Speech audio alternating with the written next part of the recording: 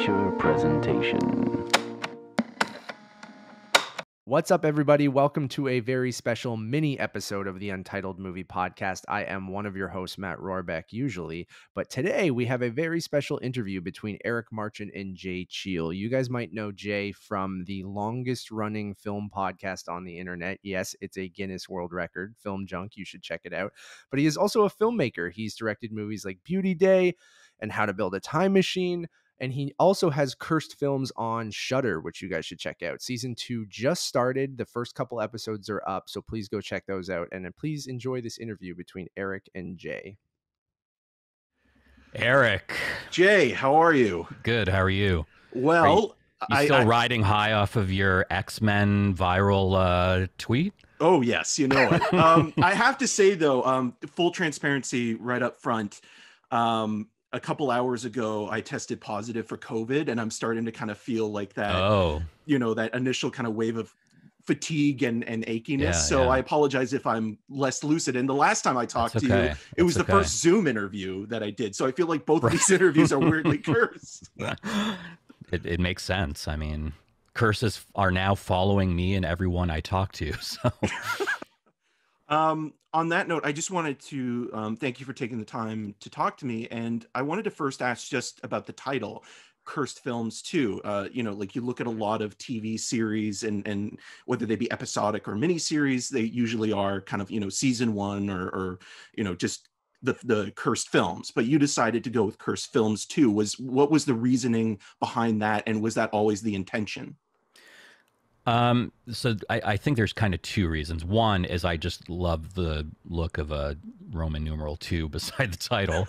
um, but also, I, I feel like the second season is a little bit different from the first in that everything we cover in the first with the over like the, the idea of covering why we want to believe in curses why we want to make these connections the idea of ma- magical thinking coincidence synchronicity all of the the things that the critical analysis of you know uh, why these stories are per- perpetuated and told over and over again we kind of did that in the first season.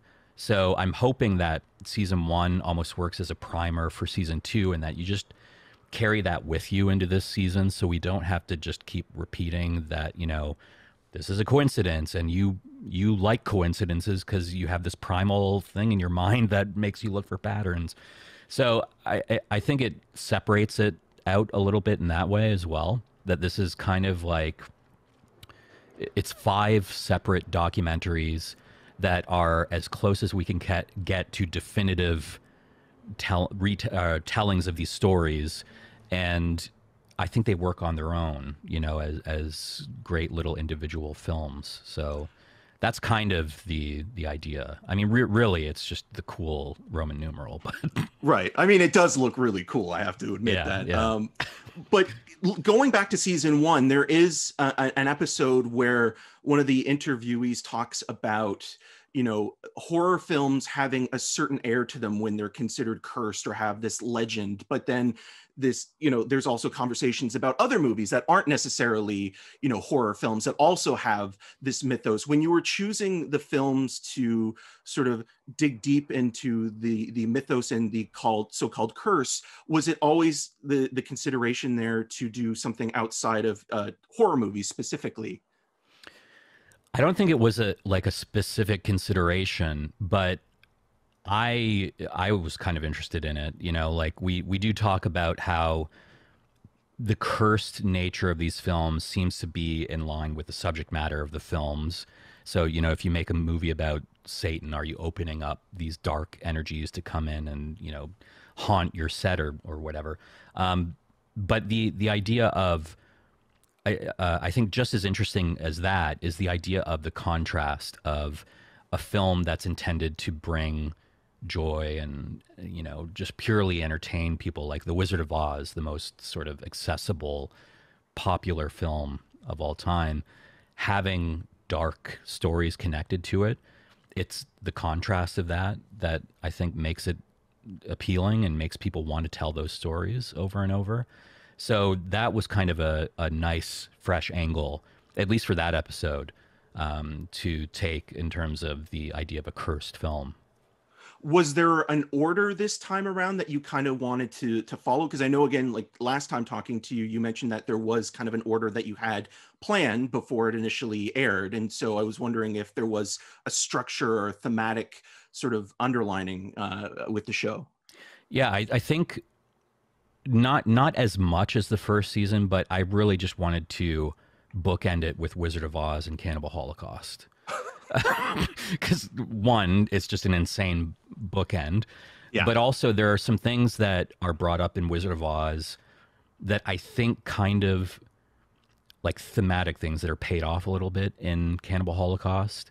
Um, in, in regards to like the blurring the lines of what's real and what isn't, and Cannibal Holocaust kind of uh, breaking the contract with the audience, you know, suggesting that everything you're going to see is fake. This is a movie. But as soon as you see an animal killed, then you're like, well, if they're killing animals, what else are they doing?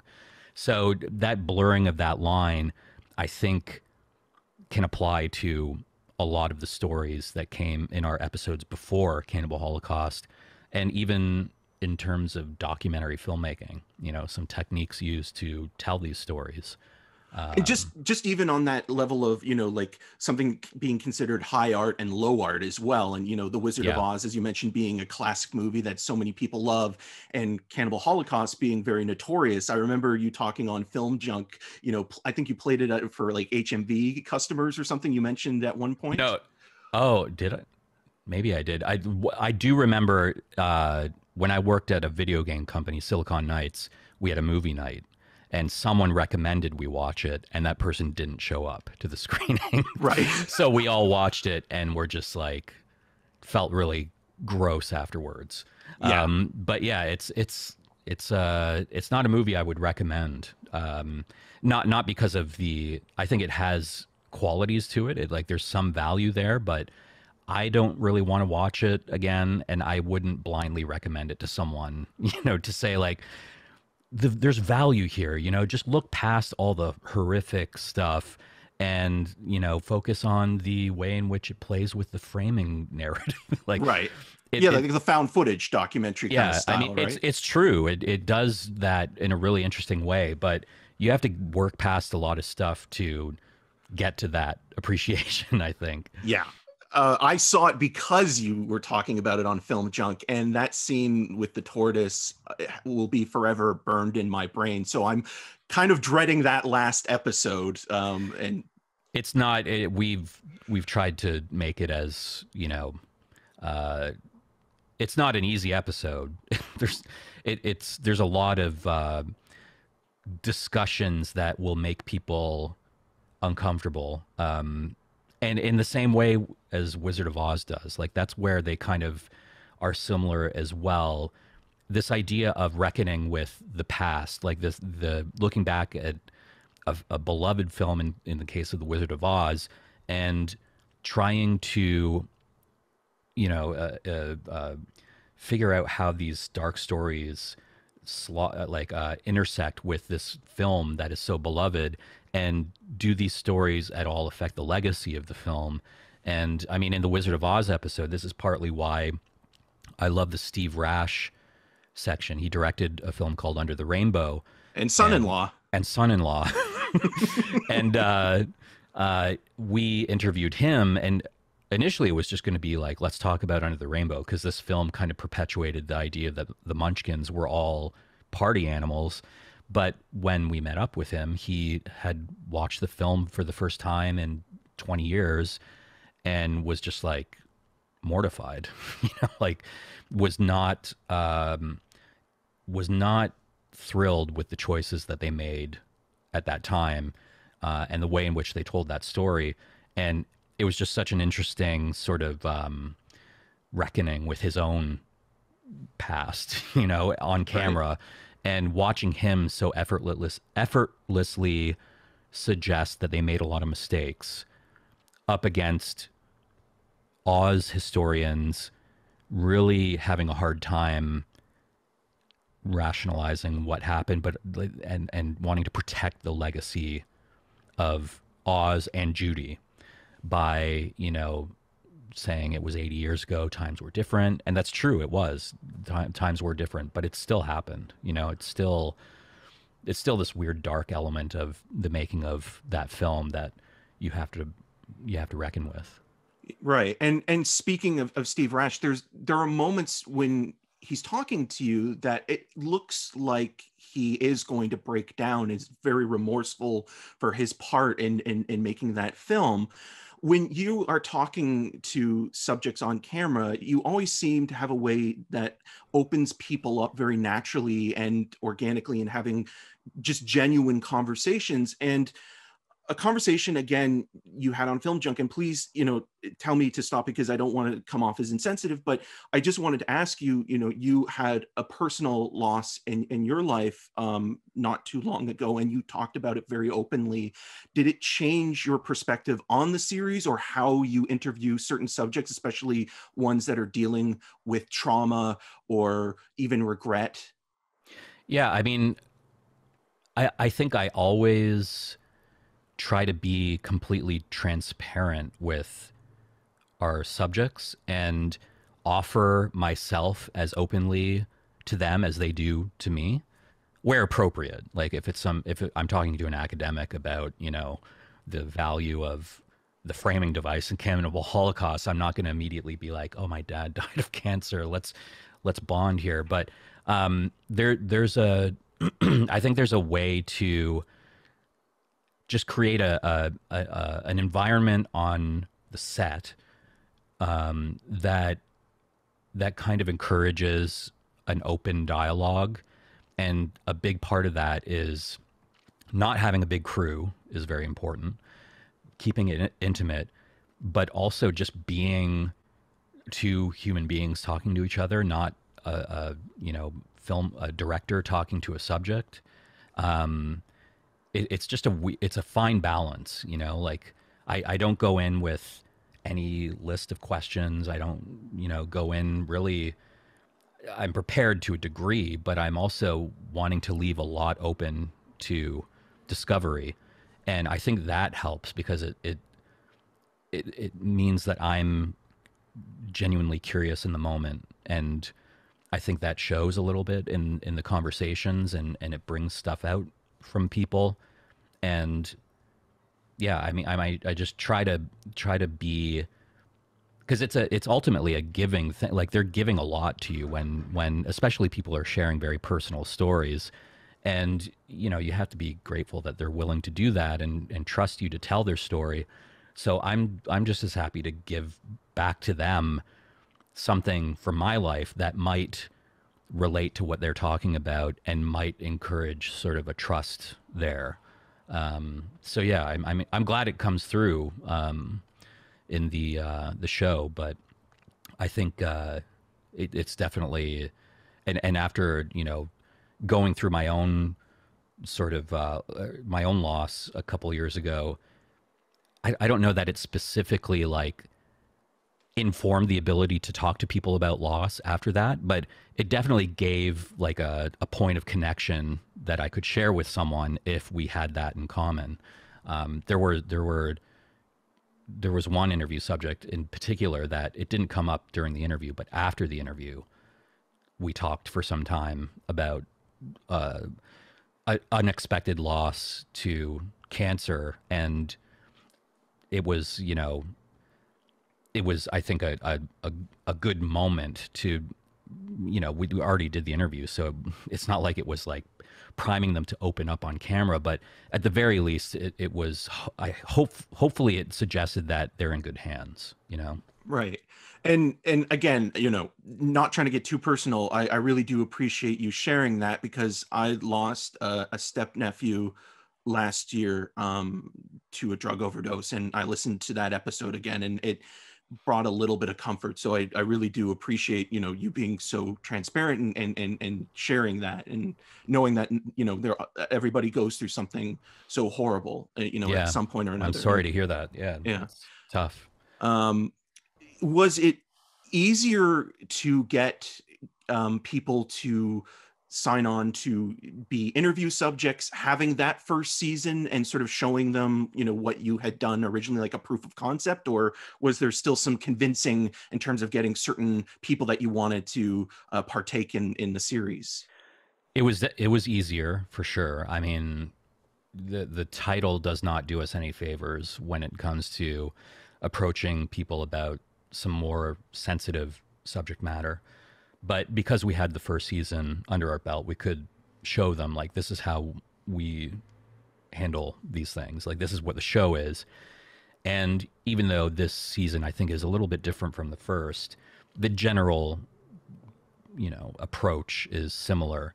So yeah, I mean that was definitely easier. There were still some people that either we couldn't find or really the biggest challenge was COVID. I mean, there were some people I wanted to talk to that ultimately we couldn't because of COVID. Um, right. Some people that just weren't comfortable at that time having a film crew, even in their backyard. So, which it makes sense, you know. So, so um, that was the biggest challenge, and I think we're we're all just kind of really amazed and, and grateful that we got to make the show at all during the pandemic, let alone the number of interviews we did, the the traveling we did. Um, it was all very stressful and logistic, uh, kind of logistically a, a, bit of a nightmare. But um, I think it paid off because it just the the this season feels a lot more international. Um, there's a bigger scope there, so um, I watch it back and I just think, wow, that we we somehow made that happen. with right. like 14 day quarantines. Every time we traveled we would come back and have to do 14 day quarantines and sometimes do the hotel quarantine thing. Right. So it was it was a lot.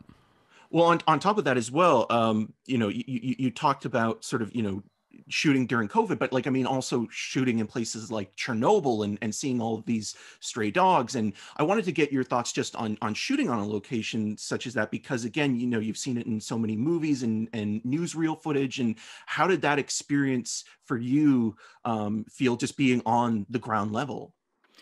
I loved that experience. Um, of course, you know, it, it's having, we filmed that last spring and we we were in Kiev and we we went to Chernobyl.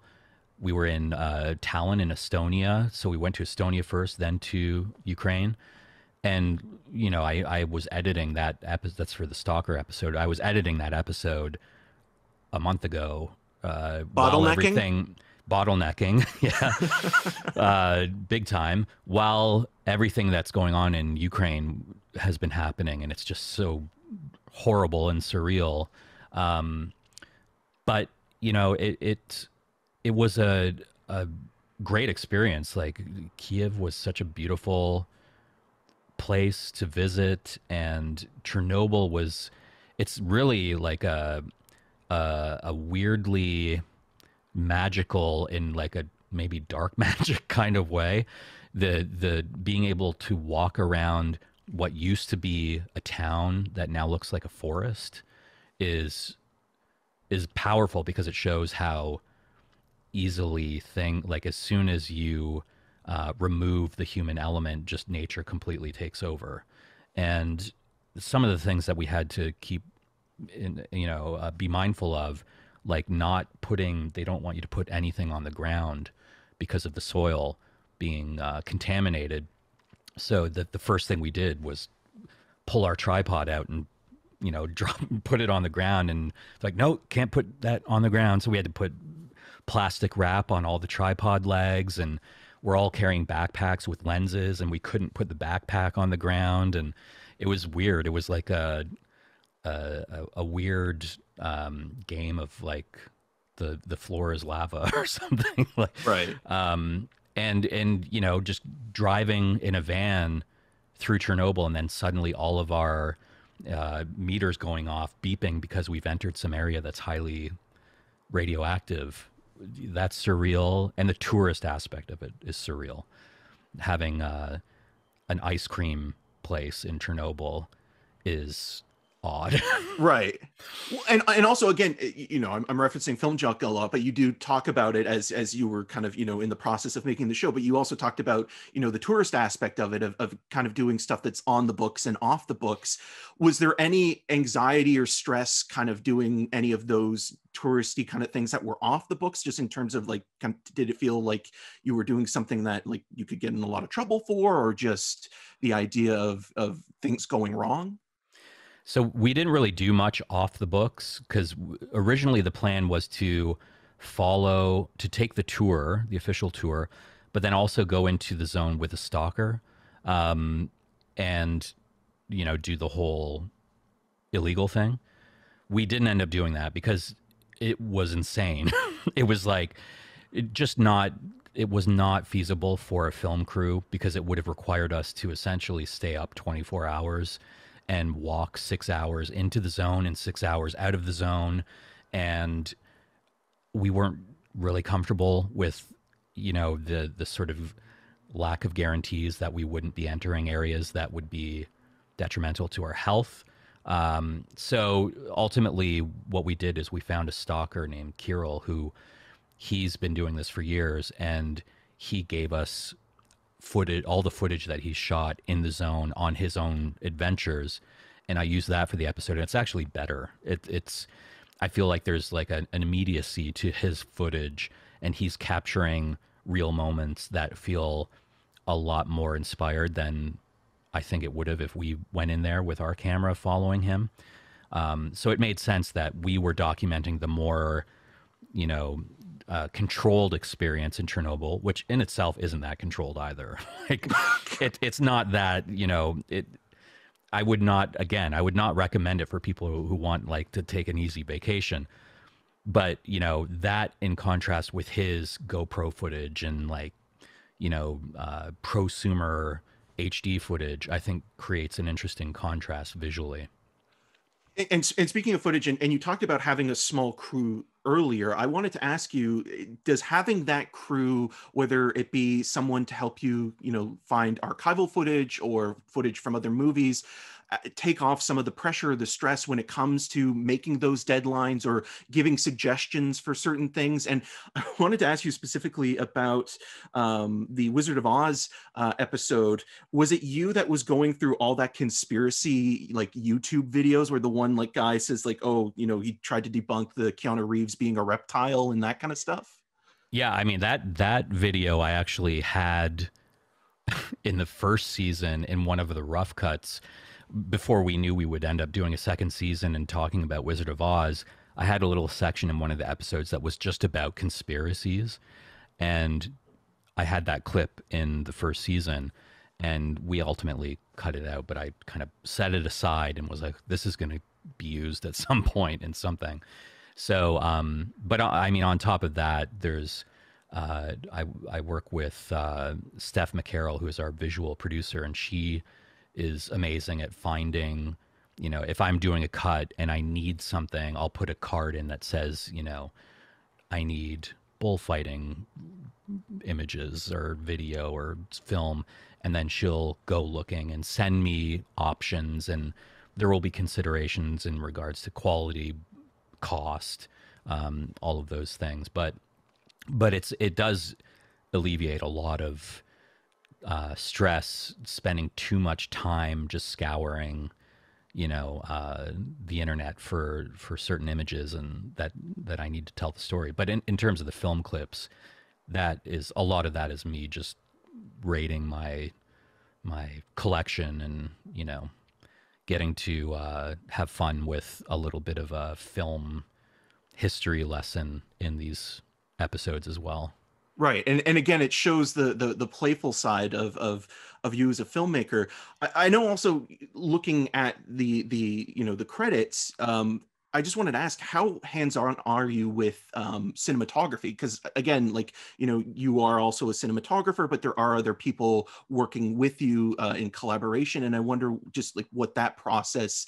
is like, especially when you know you have you know certain deadlines to make.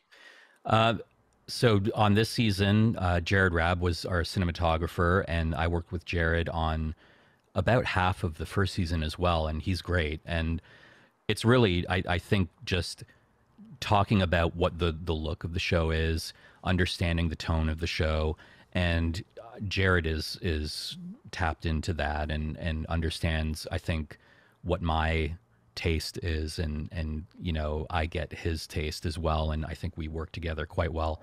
So I mean a lot of it is just kind of entering a space talking about where to put the camera, setting it down, and then for me it's good because I can focus on the interview um, and not worry about like ignoring a subject while I'm trying to set stuff up and and I wouldn't be able to do that anyways because my time as a cinematographer was out of kind of necessity doing these smaller documentaries and I and I would not call myself um, a cinematographer in terms of like the the the technical side of things. I would not be comfortable being hired to work on someone else's film as a cinematographer. It worked for me because I was shooting my first two films usually with a friend of mine or by myself. So any embarrassing blunders I just swept under the rug because no one saw. So did how much um input uh, like did did you shoot a lot of the um the reenactments and was it always meant to be on film? So the reenactments we filmed with Mike McLaughlin, who actually shot the other half of the first season. Uh, and yeah, well, I, I always wanted it to be film just to separate out the the look of the recreations from everything else. Some of it was shot digitally and then transferred to film in cases where we had to do visual effects. Um, but yeah, it was it was I think five days of pure recreation shooting, and that was in November, I think, uh, just this past November. So it was after we had filmed all of the documentary stuff. Right. And it's just so seamless. It reminded me a little bit of um, Sarah Polley's stories we tell, where some of it you you're not sure whether or not uh, it's actual, you know, behind the scenes footage from, you know, you know, making ofs or or things like that. So it blends really well together. Yeah, I mean, I that's good to hear. I I, I don't like feeling like a, a recreation is just there as B-roll to cover edits in a talking head interview, you know, or animation and documentaries. Yeah, yeah. Sometimes there's just a, it feels like a little bit of a band aid or like just an easy way to be able to um, condense things and, you know, but with this, it was I, the hope was to make something that felt like it was part of the story. And if we're recreating something, there's there's some image in there that feels like it it should be recreated. Like it, uh, it is a strong image that uh, deserves to be seen, not just some, you know, like impressionistic shot of a clock on a wall or or whatever. Although I have done those before, um, but uh, yeah. So the the I just wanted to be able to have fun with representing some of those stories on film. Right. I have to wrap with you, but before I do, are you thinking about possibilities for season three now, or are you just kind of happy to, you know, indulge a little bit in the success of, of what the series ha- is already and what it's doing right now? I mean, I the I think there there are stories that could be told for a season three. Um, you know, if people respond positively to the second season, if there's like an openness to broadening the the perspective of what a curse film can mean.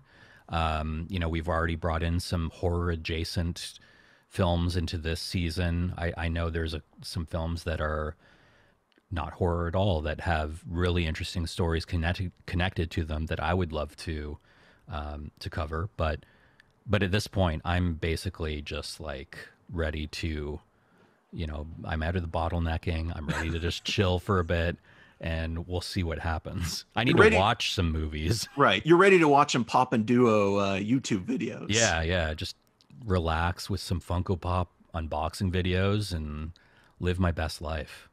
That's awesome. Uh, it's always great getting to talk to you and and and watching your work, and I really do appreciate uh, you taking the time to do this. Thank you very much. Yeah, thanks for doing it, Eric. Especially with COVID. Yeah. Uh, You are a true hero.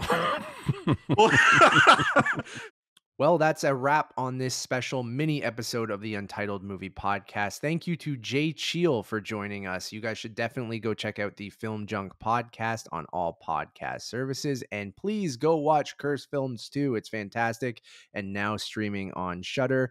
Uh, go check out Eric's other work over on CinemaScene at rogerstv.com slash CinemaScene and follow him on all those social medias at EM6211. I'm Matt Rorabeck, and until next time, peace.